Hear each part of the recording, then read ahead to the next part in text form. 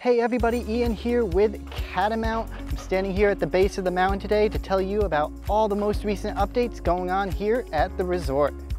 We all know that up on the mountain, quality trails, expert grooming, and improved snowmaking capacity are the name of the game. And our crew is hard at work to ensure that we deliver on all of that this upcoming winter season.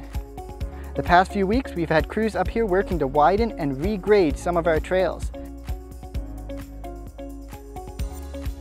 These efforts will increase trail capacity as well as allow us to improve our grooming and snowmaking capabilities on the hill.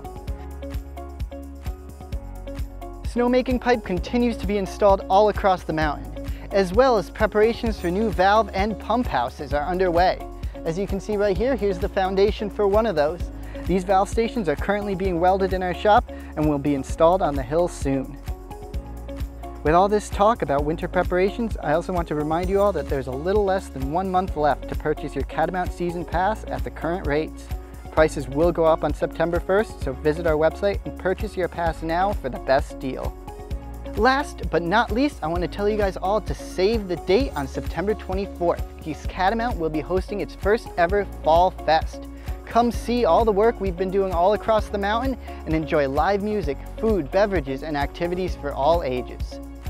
Thank you all for watching and we hope to see you soon. Once again, my name is Ian. I'll catch you later.